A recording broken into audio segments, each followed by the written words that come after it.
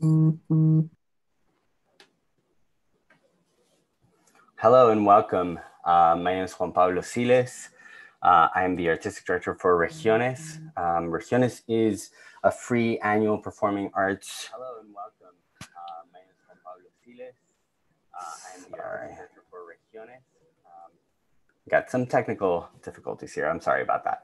Um, we're a free annual performing arts series uh, based in Bushwick, Brooklyn. Um, we aim to present and uh, showcase work by artists with roots in Latin America and the Caribbean. Um, and I'm very pleased and very happy to have with us Candace Thompson Zachery moderating this beautiful panel of artists. Um, Candace is the founder of Dance Caribbean Collective. Um, Candace is currently based in Brooklyn, originally from Trinidad and Tobago. She's a dancer, choreographer, and cultural producer with a vested interest in Caribbean dance and culture.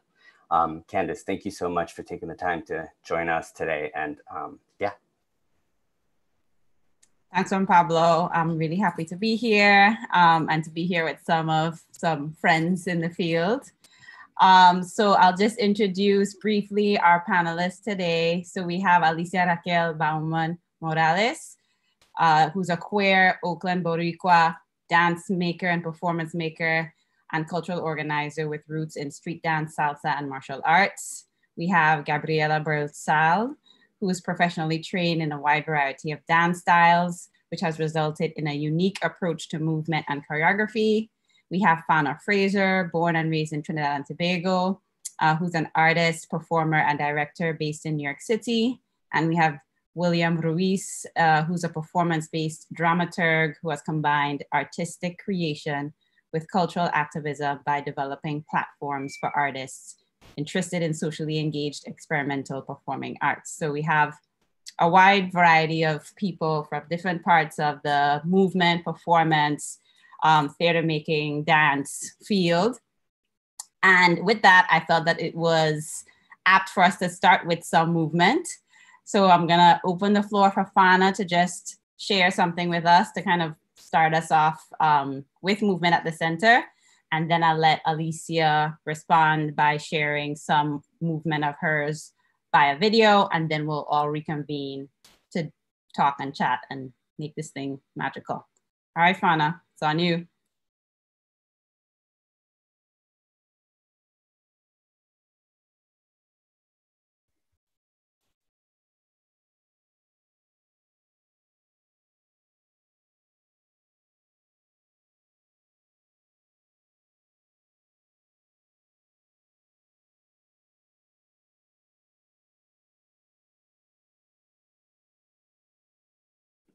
I unmuted myself. On oh, I unmuted myself.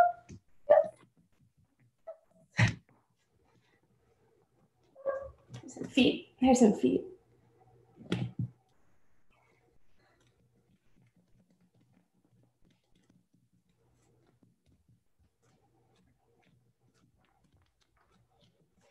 Here's my room. Just take you on a spin, little spin spin. Where's my family? Where are they? Where are they? Where are they? Ugh. Familia. okay, now I'm spinning.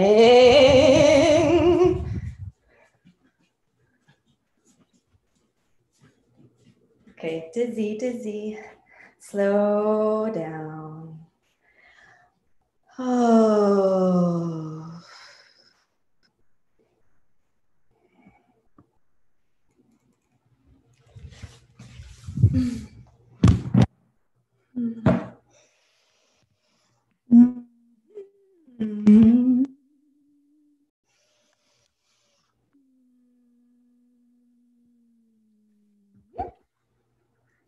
Thanks, Fana. Thanks for sharing that. I want to open the floor up for Alicia to share with us.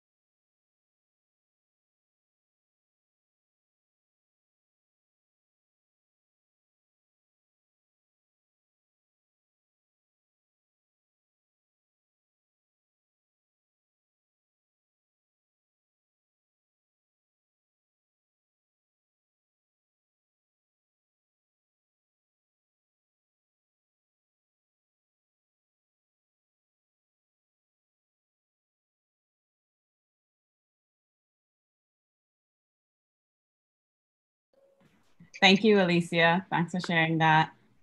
I just want to bring everybody back if we're not all back already, so we can bring our videos back.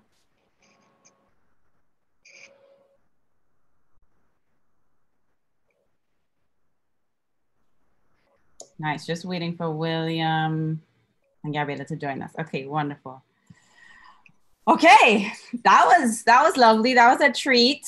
Um, so I'm gonna invite us to respond to each other's work. Um, and, and I can go first, like in Fana's, and these were just things that I, I wrote down while you were moving. Um, whimsical, joy, minimalism, simplicity, family, channeling of the human spirit and of the present. Mm. Um, yeah. Alicia? Yeah. Yeah, I really connected to what you said about the present. I felt that when I was watching you. Um, and it felt like a good dose of medicine to me to see you right in this moment um, come into your movement practice. Thank you. William and Gabriela? Yeah, um, um, also the, the, um, the, feeling of present uh, was um, um, something that uh, that came through. And just a detail is that uh, it also made me think on how um, how our bodies also relate to the condition of, of, of this online uh, co communication.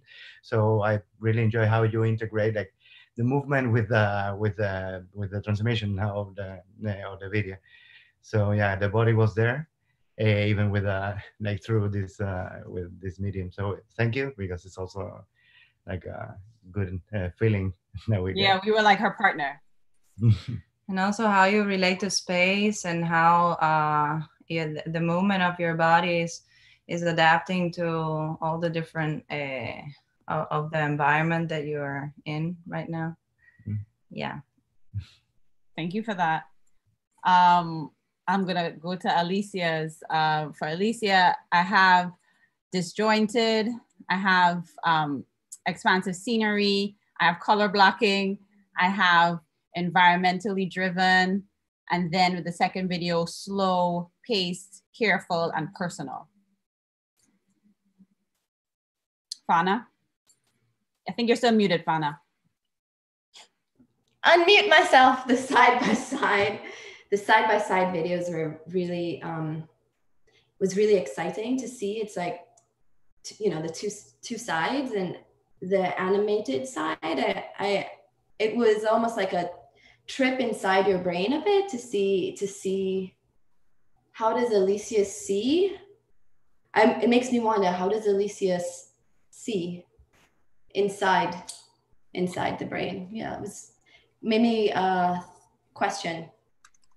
Yeah, a lot of questions came up. I love questions. Thanks, Fana. Mm-hmm. William, Gabriela. Yeah, the, um, um, to have these um, uh, two images that were in unison, but at the same time, like have a different visual uh, treatment. Um, it was interesting because it's like having two sides of, of, of the same process at the same um, at the same time. So they were very they, they complement each other. Like I think in a in a really uh, good way because it's um, uh, it, yeah, these two different perspectives like created like a whole, uh, like in between the two, it created like a uh, like another uh, level of experience. Mm. Yeah. you, it's it's out there, Gabriela. You nothing to add. I'll think a little bit. It's okay. Totally fine.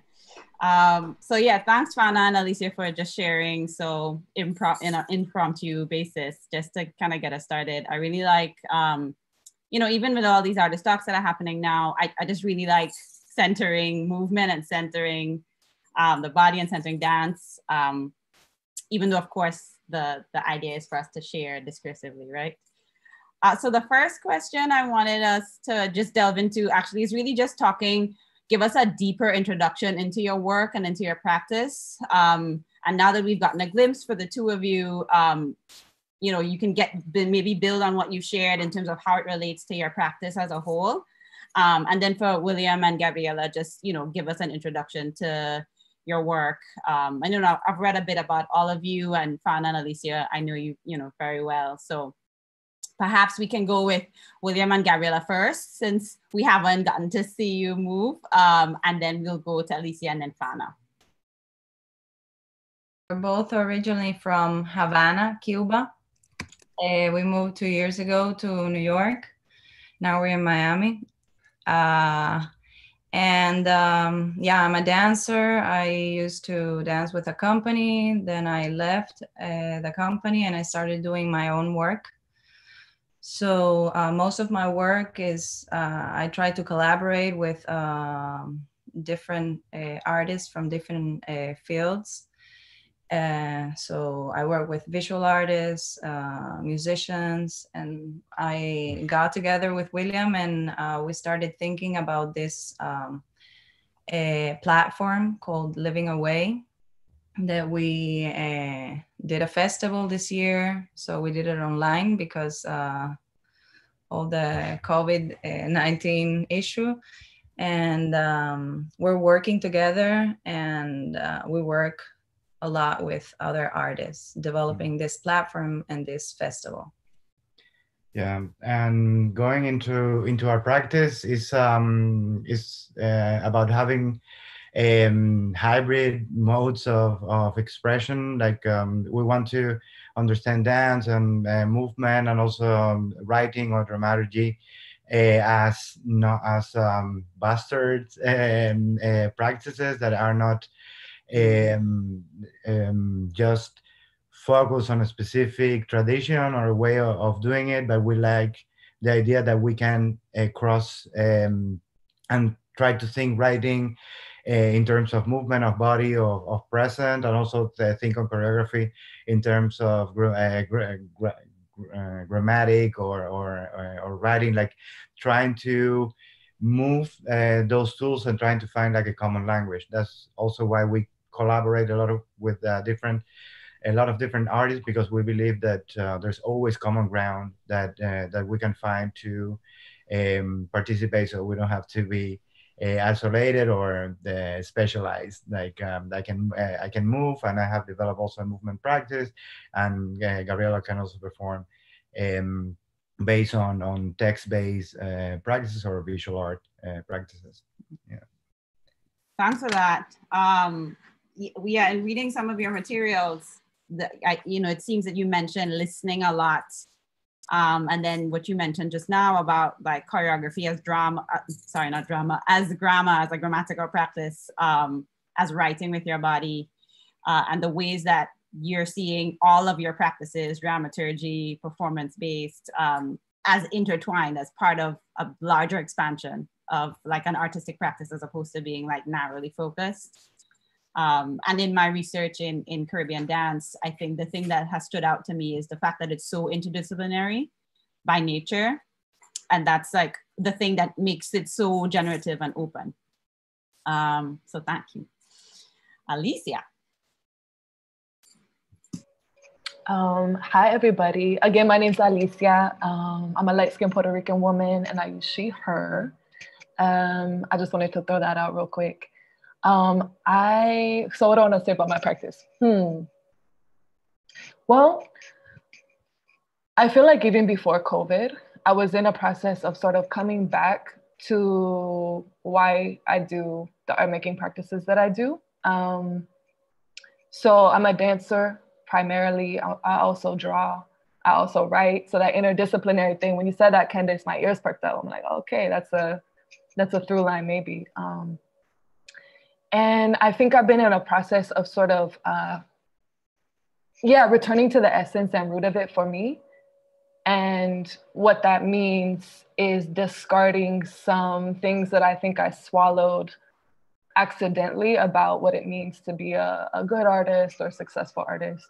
So, um, so my my first dance practice really was outside, um, and and now it is again it was uh, you know it's it's always been its own thing but it's very influenced by um, oakland turf dance where i grew up and also by house and also by salsa and these different things um, yeah, my visual art has not been something that I've created to put out into the world usually. It's been um, more personal. And I think it's been, I was about to try to say what it's influenced by, but really it'd be, that would be me guessing. Um, but it tends to be a little off kilter. It tends to be kind of like in the margins of things or, uh, yeah. Um, like I want you to say more about that. What does off kilter mean to you? it means that I've never like sat down with a canvas. You know, um, it means that like my visual art practice really was in like the margins of my school notebooks and also on some surfaces I wasn't supposed to be tagging around my neighborhood, you know, that kind of thing. And um, uh, it's also been altar making. So altar making is something that that I grew up with and that um, that I still do. And I've kind of come to realize that that's a big way that I approach performance making. Um, so that's something about it. Thank you. Mm-hmm. Um, yeah, I think I'm just struck by this idea of, of your like visual art practice in, in particular, and I guess how it also relates to your dance practice. Like, you know, your first dance experiences you're saying are uh, outside, you're tagging like your visual art practice is about like writing or inscribing yourself in places that maybe you weren't supposed to be right? Like working from the margins as some people like to you know people talk about this thing about being in the margins the people at the margins. Um, and that being like where you've chosen to create right? And like put it put yourself or put your like identity your your output in those places. Um, is like i guess really striking to me. So thank you for that. Fana. Hi everyone, again I'm Fana Fraser. I'm from Port of Spain, Trinidad and Tobago. And uh, I think today, I think, I think my practice, my work, I am always led by desire. Um, and I think it's been, uh, um, I've been doing this sort of tug of war with myself um, in terms of getting a plant I want or saying this thing that I know needs to be said, you know, or just, you know, the thing that's living inside. And then I question uh, who does this thing that I'm, I'm feeling so much all the time? It's like, it's just so much all the time. And I'm like, this, is this all me? I don't think it is. Like, I don't think it could be. And then I'm like, maybe it is. And then like, who am I? It gets into all of these sorts of um, existential questions. Um, and it's always rooted, I think, in, for me, um, in the blood, in the earth, in where I'm from, where my people are from, um, my family, and um, the families outside of my family that kind of create my community and my, my people pretty much. Um, yeah, the work, the work again, I'm coming to define as as interdisciplinary, like everyone is saying. I'm like, oh, I'm writing constantly, nonstop. I'm drawing nonstop. I'm like singing, like trying to find my tone inside of myself. I'm like, where is it? I'm like, I sometimes I hear it. Um, and uh, you know you kind of let it all take you i let it take me on a ride i've been letting it take me on a ride more i've been wanting to letting for all of this to take me on a ride to see to see what there is to see i guess. Um yeah so mm-hmm. yeah i make us i make stories. I make stories i think. Sometimes um they feel very present, but historical and maybe like glimpsing into I don't know, I'm gonna get metaphysical, you know, like other dimensions perhaps. I'm like, where are we right now? What are we channeling? What are these, what's being called upon? How are we responding? Um, and yeah, you know, it's you kind of I have been allowing myself to be okay with the scary sides, the dark sides of the psyche, um, and getting more brave with my words and um, sharing what's on my mind. So I think that's what it's what I'm doing, getting more brave with sharing what's on my mind, and what's on my mind is in response to where I'm at. Yeah. Mm-hmm. Thanks for that, Fana. Mm-hmm. Um, as we hear the motorcycles pass outside my house on Eastern. Mm-hmm.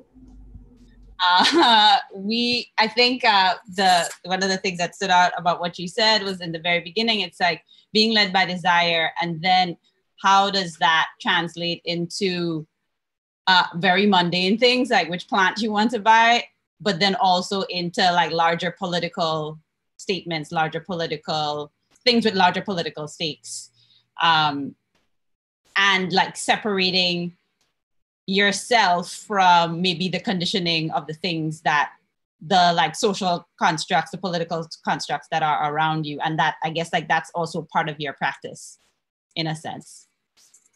Yeah. So thank you for sharing everybody. Uh, i just want to backtrack and do a land acknowledgement. I am currently on the land of the Lenape and Canarsie people in Brooklyn, New York. I believe everybody here is in what we call New York City, so that's also the land of the Lenape people um, just because things started and then we we got away from ourselves. So I think perhaps the next thing that I might ask us to respond to um, is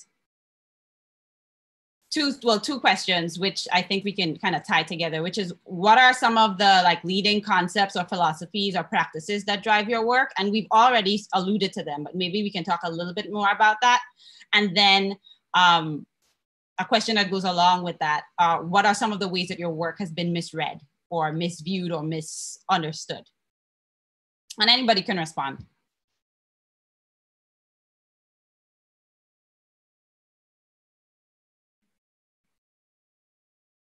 Yeah, well, I just share. Um, I'll share an experience, and it's a very personal experience. I I was um, in Brussels uh, doing a research on a dance school P.A.R.T.S., there is um, a school very uh, focused on contemporary dance.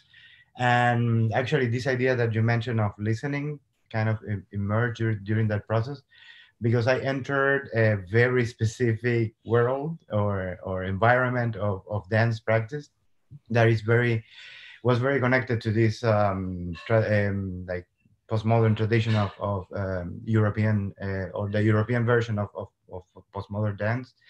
And I felt um, like talking about this misreading, um, my reaction, my personal reaction at the beginning was try to integrate to those um, uh, to to the ideas and try to to be part of, of, that community and then slow very slowly and with a lot of uh, personal um, i won't call it suffering but i will call it like um, violence like a soft violence but at the end um, it's uh, violence.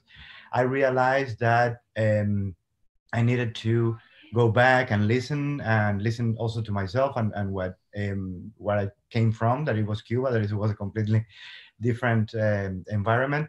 So it was hard for me to communicate. So my work or, or the ideas that I was trying to translate to that uh, all the world um, often uh, get uh, misunderstood because it came from a completely different uh, uh, route or a completely different base. So um, I think it has to like misunderstanding because I, am interested in misunderstanding and that we all um, have a different idea of what um, of what uh, we produce as uh, as art. But uh, my my issue is when that misunderstanding comes from some kind of colonizing uh, thinking. So we can all misunderstand each other. We can all try to discover what we really uh, want to say to to each other, but we need to be aware also of those power um, dynamics and, and understand if that misunderstanding is coming from something that will make us grow or something that is pushing us back. back. Yeah. Gabriela, you want to add anything? Mm. yeah. I don't know. It happens to me a lot when I'm uh, performing um, the people don't understand uh, where do I come from? Like that is pro- problematic for me because I um like I have my my dance language is uh, different from my uh, body I don't know uh, appearance and uh, it's yeah it's always pro- problematic because I was trained uh, in, in, with a technique that uh, has lots of elements of Afro-Cuban uh, culture and music, and so I one of my my interest is in continuing to, to to develop that that uh, those tools of Afro-Cuban elements.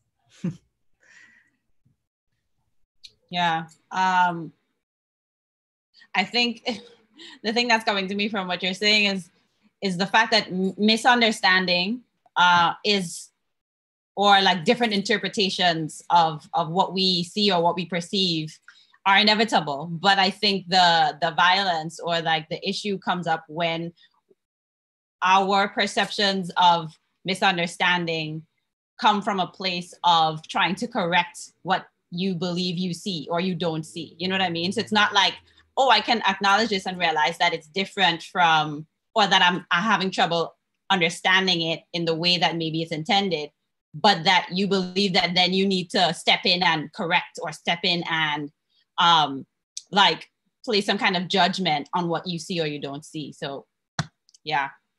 Other folks?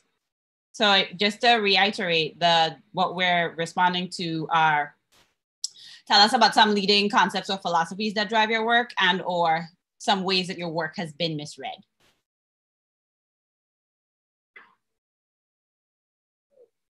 Yeah, I, I the, what's coming to my mind now is this phrase that I've been using, um, you know, for grants and such, is a contemporary Caribbean aesthetic.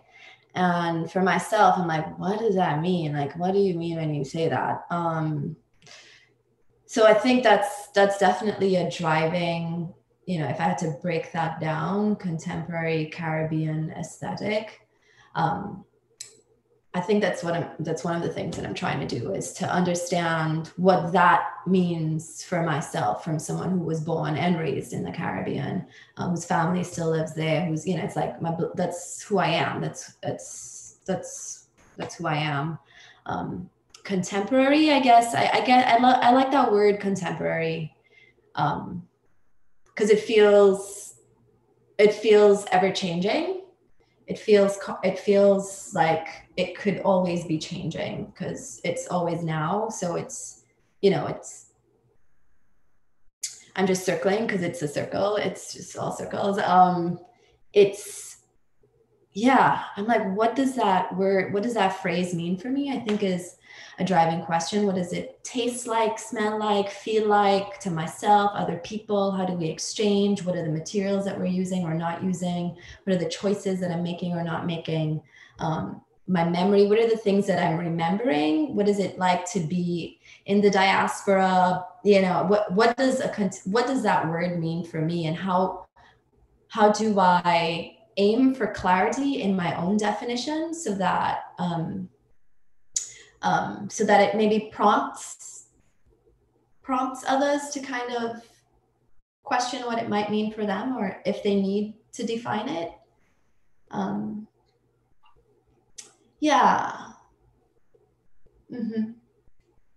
yeah yeah i'm with that mm-hmm. um, i gave a lecture yesterday on camille's platform mm-hmm. and one of the things that I talked about was the fact that at, at times this idea of people pigeonhole Caribbean dance in the past or something mm-hmm. historical or that's only relevant if it can like ethnographically represent how we used to live, etc., etc. right? So it's like it's some in some ways like you having to say contemporary Caribbean is like an emphasis on the fact that we live today, we exist today, and we have contemporary issues and questions and concerns that don't necessarily look like a PK step or a Bel step, right? Exactly. Um, this is something that me and panel understand, but mm-hmm.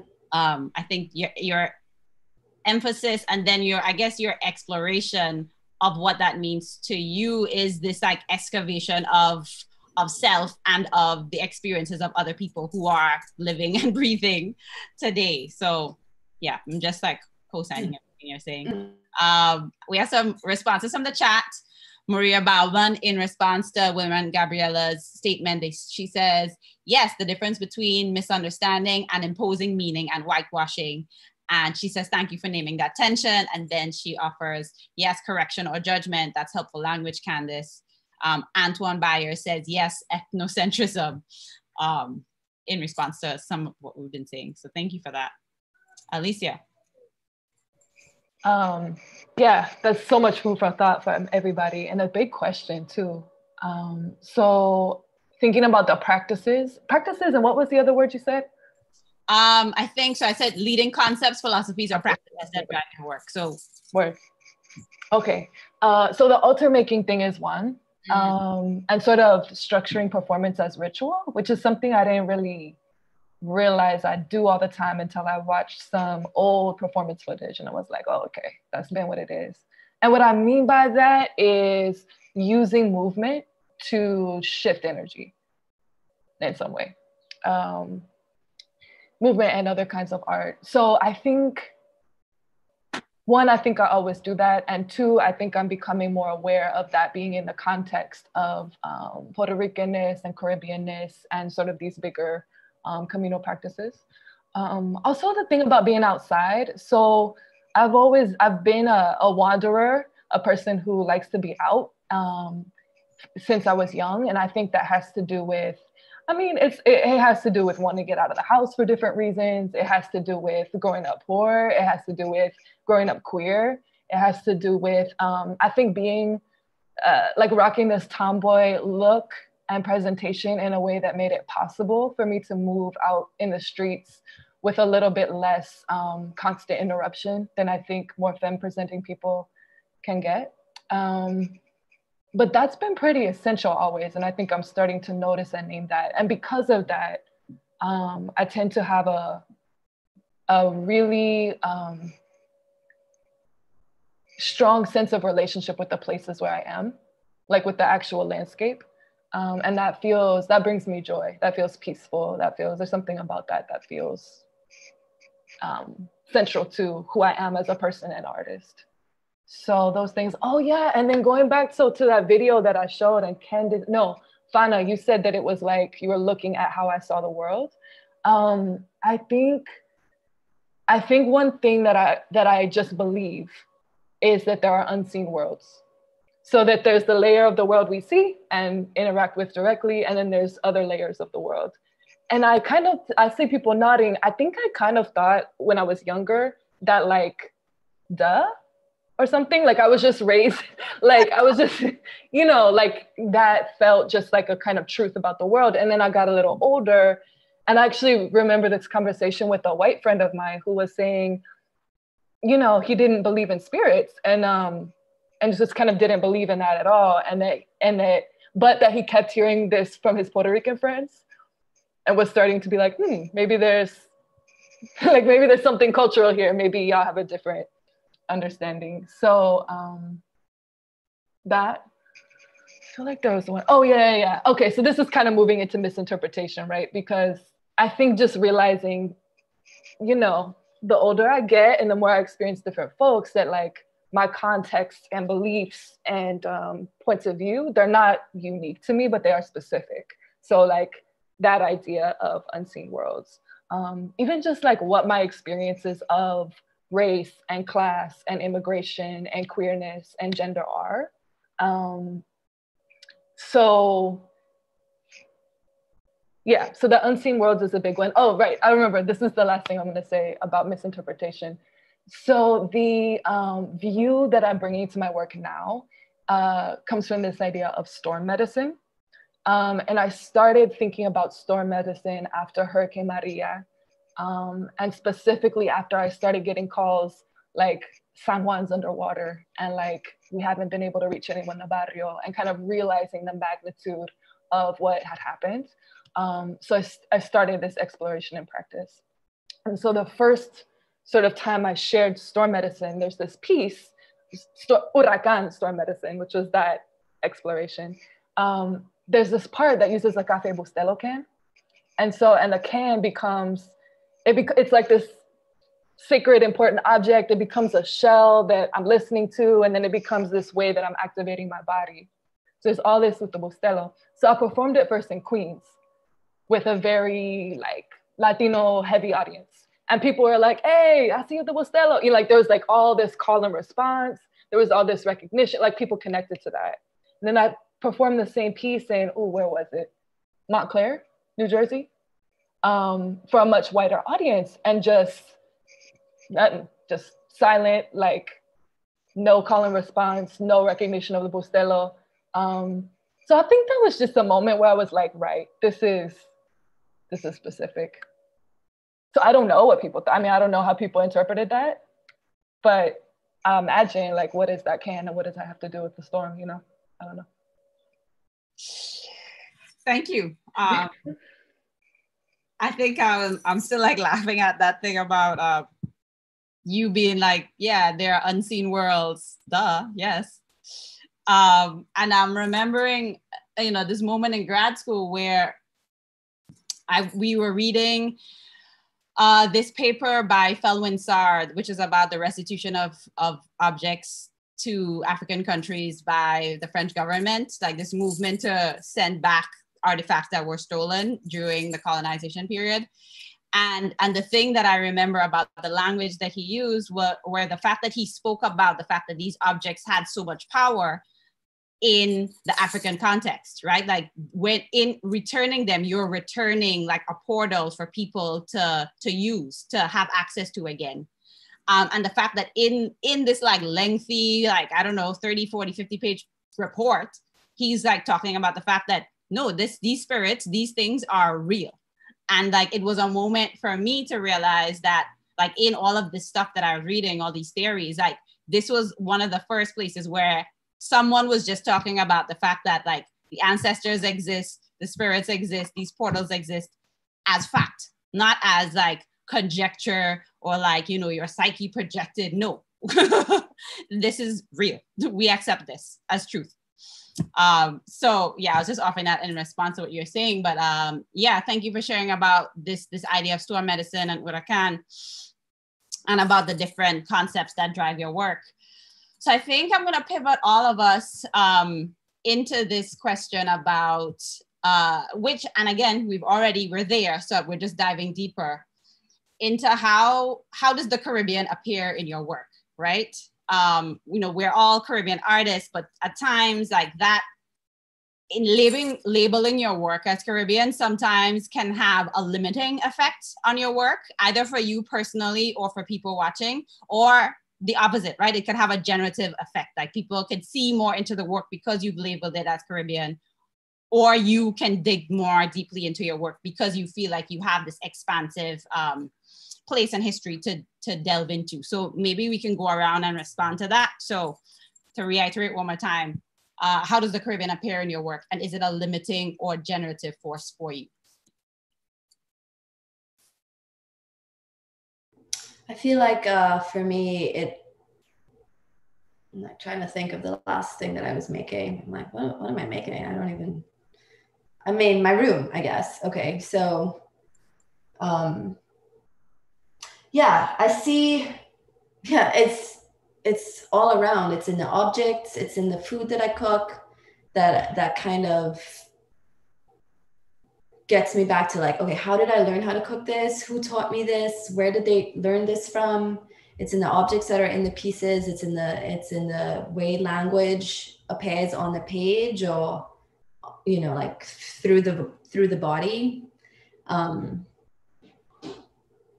I'm like looking around. I'm like trying to look around to see it. It kind of is in me. It's like in how I do things. I guess it's I don't know. It's just a it's just a vibe. It's just I don't know. It's just a just a vibe that that I know that I was raised a vibe that I was raised in.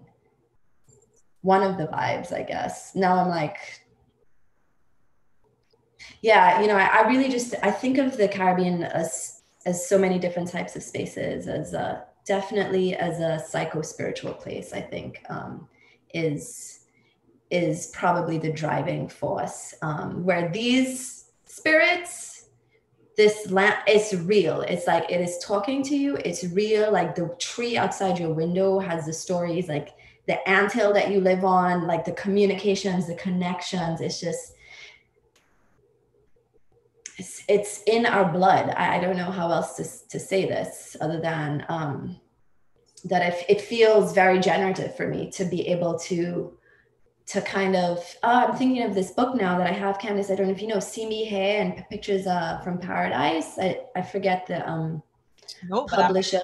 Yeah, beautiful. It's really, really just like a, a sort of reflective look at ourselves from our own selves. Um, yeah and trying to i don't even know what i'm saying it's it's it's me figuring figuring it out it's us as island people you know recently independent from you know these the british crown in 1962 it's like your parents grew up under this you know and then they're teaching you so it's like how do i how do i undo some of the things that i was taught you know um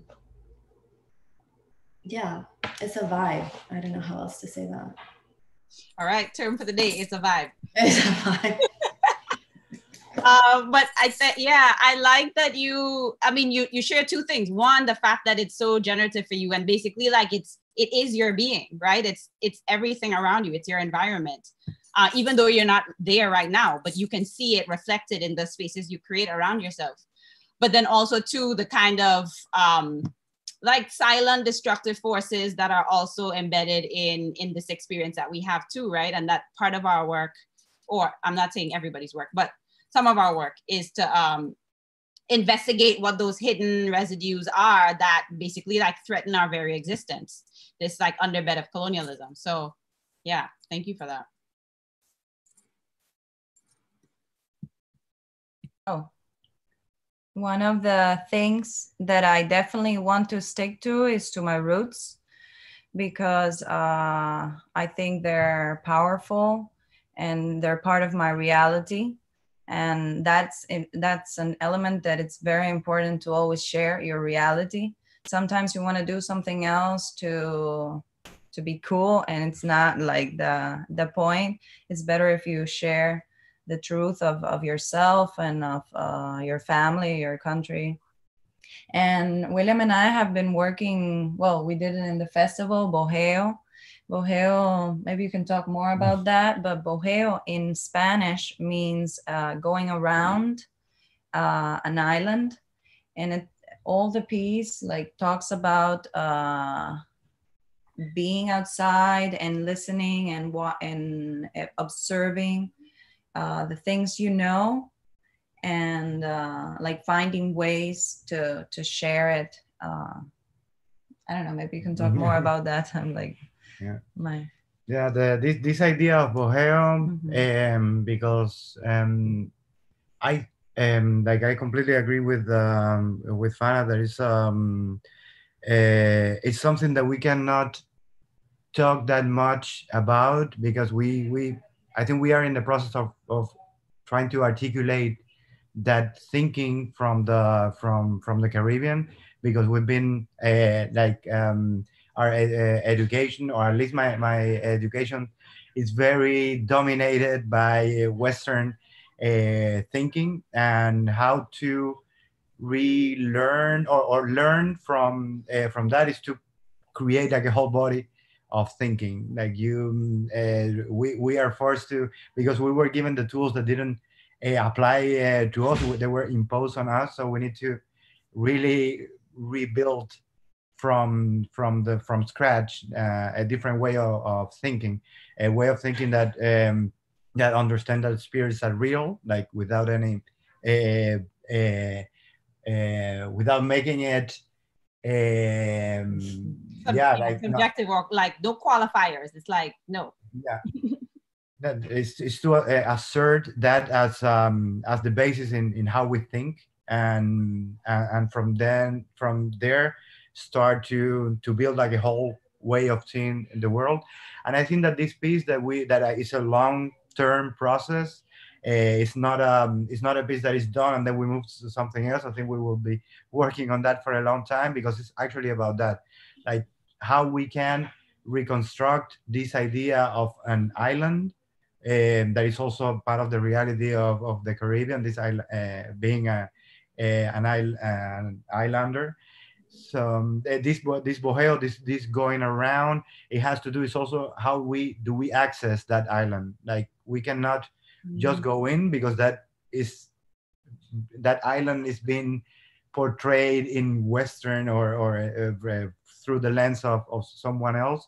Is how we can look at that and how, what do we get from that uh, from that experience and yeah i've um, i really resonate with what fana uh, uh, has been saying also in relation to not knowing like the possibility i'm defending the, the, the not not knowing because we we we've been as like those tools have been taken away um, uh, from us we need to remake them know? Yeah. Thank you for that. Um, I'm shouting out Maria Bauman. She said two things. Uh, so wonderful when our scholars name our reality in their language. Not that we need scholarship in order to be made real, but it's certainly affirming. Um, and then uh, woo, so much artwork from being resourceful with the tools one is given that don't apply. So I think that's responding directly to what you just said, William.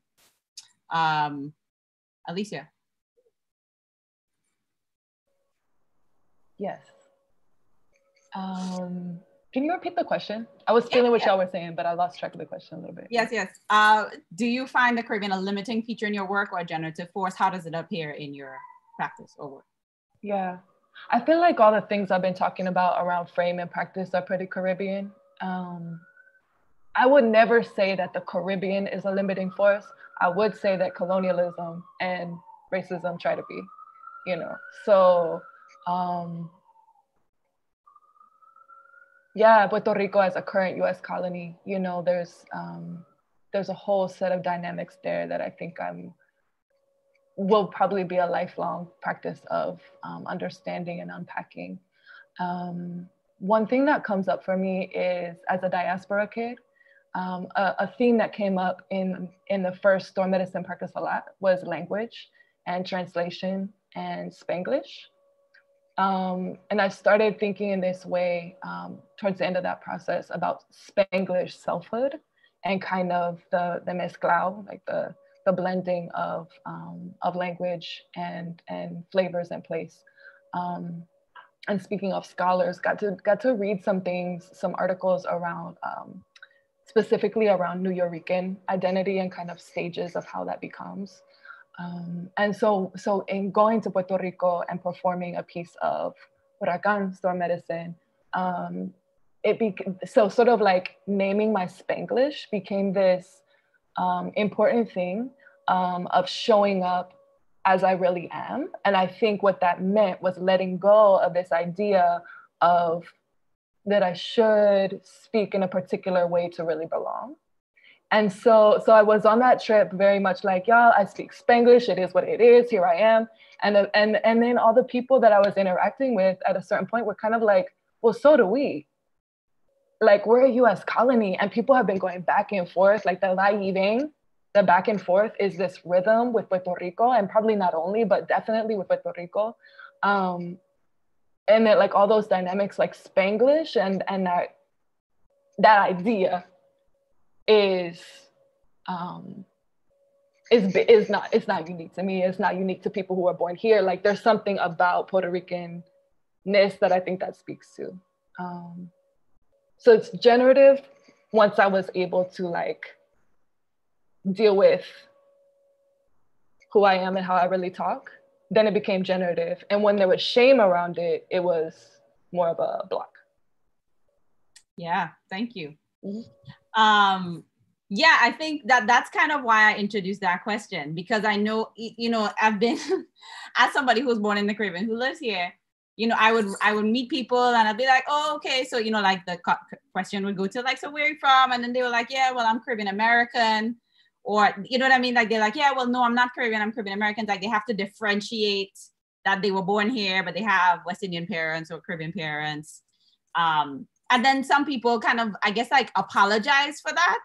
And I've been in the habit of being like, okay, like I'm not here to like measure how much Guyanese blood you have in you, like where, but the, I think that, you know, in all of my conversations is about, it's about those shared things that we share. Like you're born here, you're born there. Like, sure, there are differences, but there's also so much, again, generative, so many things that are generative from that shared experience that we can build on that we don't need to look at like, okay, that inch of difference that you have, like, I don't, like, you don't qualify, or, you know what I mean? Um, so I just, I like that term that you introduced, like Spanglish selfhood. Um, and yeah, just identifying that your experience or lived experience as being a Puerto Rican person that lives in the US, mainland US, is different from the Puerto Rican person who's born and raised in the Port in Puerto Rico, but there's there's no standard that we need to be measured against, right? So uh, just introducing that. As we are winding down, it is now 2.54, miraculously, the time has flown by. Uh, so I'm trying to think about a closing thing that we can respond to. So there are two things. One is, uh, I know that there are some of your artworks on the website, on the Regiones website.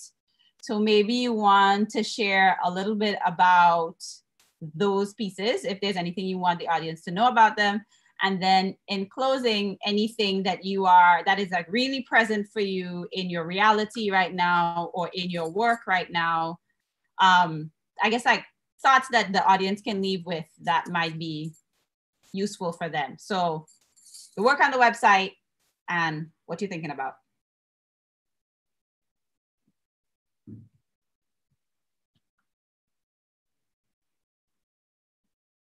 I'll go. The uh, work on the website is um, I have some doodles that I've been, I just, you know, just doodle on my phone, on my notes. I, um, my notes are now extremely organized. They're like thought categories. Okay, this is what I'm thinking, you know, this topic, this topic, this topic, this topic, this topic. Um, and um, so some of the drawings are some of the doodles that are from my phone, which look different from the doodles that are on like a page um, that I do. So there's some doodles. It's just basically stream of consciousness, like whatever's on my mind at the moment. Um, I do have a um, practice where I use both hands. So I'm, I, you know, I'm writing with both hands or, or my non-dominant hand. Um, and that unlocks, I mean, it unlocks some really wild stuff that I'm like, I know I'm not making, I could not be making this up. I'm not making up this information. It's just, I'm just channeling it pretty much. I don't, I, this has to be real. You know, I, I cannot doubt. Um, what else is on there? There's, uh, yeah, so those are the drawings. And then there's a video from uh, Process in 2017 um, at Man C for the inaugural choreographic lab, I think is was the name of it. Um, and what I had been the title that I was working with. Um, I mean, this is a piece that I probably really need to go back to, and I'm just gonna read what I wrote about this. Um, so the title is "No Talking While Eating Fish: A Bone Will Stick in Your Throat." Um, and then I have a sermon, a story, a study, a speech a slippery shape, shifting song of songs of shamed desire, fueled by blood and range, rage, and a mortared pound of salted flesh, a slow remembering. Um, so if you, it's if you have 10 minutes, I invite you to please go see what you think I might be talking about or what it brings up for you. Um, and what am I working on right now? I'm uh, doing a full spectrum doula training. I've been thinking of birth, postpartum doula work for the past decade. Um, and now I was like, now is the time. This is the sort of work, supportive work um, that I feel like I need to be.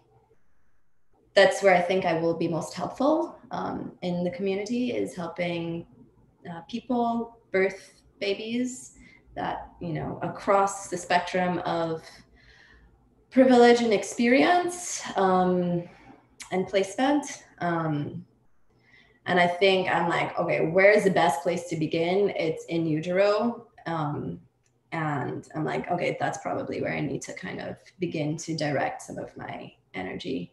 Um, among other places, but yeah, doing doing some in the full spec, you know, just all of the doula, doulaing, helping, supportive service work. Uh, so that's where I'm at. Thanks, Fana. I'm just mm-hmm. saying that out loud that it's 2.59, so we may go over five minutes um, for us here and also for our audience. Uh, Alicia? Work on the website. What are you thinking yeah. about? Thank you. Okay, so on the website, I have I have these four drawings um, that in my mind I, I think of as the crowning series. So I started making these in late February and then into early March. Um, and sort of had all these like synchronicities with crowns come up for me. So I looked back at an old dance video that was this practice called Be the Soul of This Place. So back in 2014, I was dancing on a street corner and trying to like feel the place and, and partner with the place. Um, so realizing, okay, I've been doing that for a minute. But in that video, there's this graffiti red crown over my head that somehow I didn't notice for years until recently. Um, so that popped up. Um, I started doing these drawings. Corona, Corona virus hit, and that became this sort of resonant, mm-hmm. weird synchronicity for me. Um, and thinking about the process of being crowned.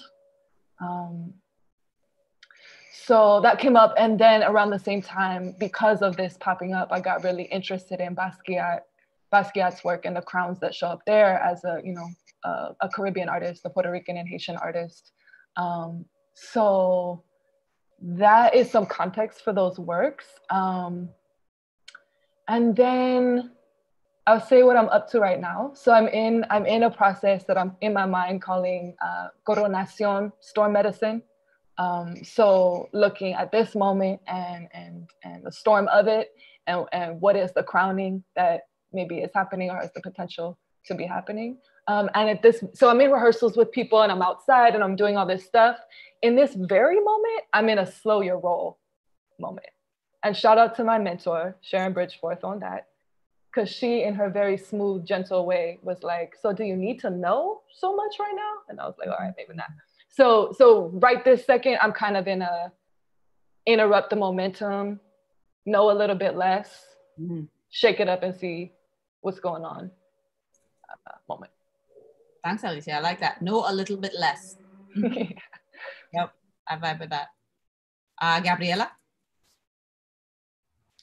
Oh, uh, yeah. Well, we have um, on the website is uh, begin well it's what we did in the festival it's part of uh, what we started to do in the festival that is also um, a work in progress it has to do with the idea of Bojeo and how this Bojeo that we started uh, uh in havana has uh, evolved and adapted to other circumstances uh, for example Bojeo now um, means going around and resonating with the internet because uh, we we're going around the internet all the time especially in these times in this time and um, so yeah. yeah. maybe yeah it's um yeah we talk a little bit about the um, concept of, of Bojeo and this um uh,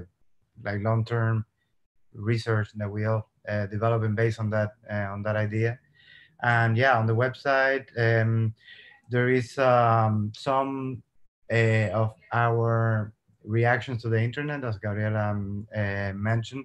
So it's um, basically two two of two sides of that um, um, uh, research or that yeah travel around the internet.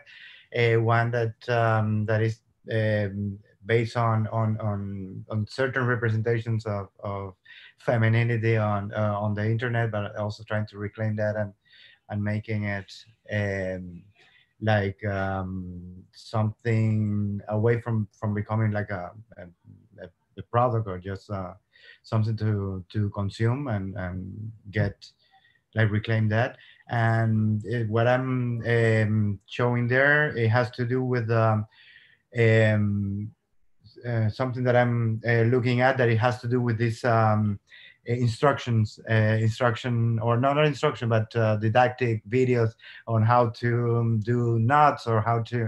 Uh, that has to do also with survival, and in this time, like I think it's it's something that is been exploding, but uh, trying to see in there uh, something like an artistic dimension of it, like uh, not not not only for uh, it could they could be used to for people to learn uh, something, but it can be also um, a way to reflect uh, and a way of, of, of talking about more universal um, ideas. So I'm in there. You'll you'll see this um, an image of, of myself uh, doing some knots. That is something specific as a practice that I'm I'm, I'm trying to develop, like the knot as um, as a place where different things come together and like they they tie, and also the complexity of the knot. That is not uh, uh, something that you can understand at the beginning, but you can you got to do it and undo it to to be able to yeah to understand how it works and how uh, uh, what, is its complexity. Yeah. Yeah so going back to that not knowing going back to that like in between space. Yeah so that seems to be a concept that's coming up for a lot of our works.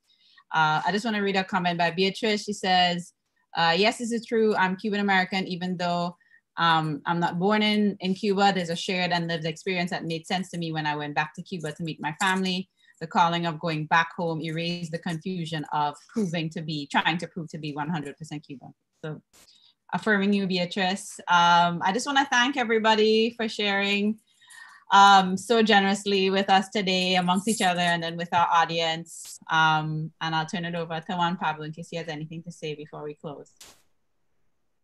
Yeah, thank you, everyone. Uh, Candace, thank you. This was a beautiful conversation. I really appreciate the um, the questions and really the, the conversation. What I take from it is just uh, the vulnerability of everyone in this time and just the vulnerability also being an artist and um, learning, unlearning, and experimenting. And I think that's very true to what we and Rick Regiones want to do.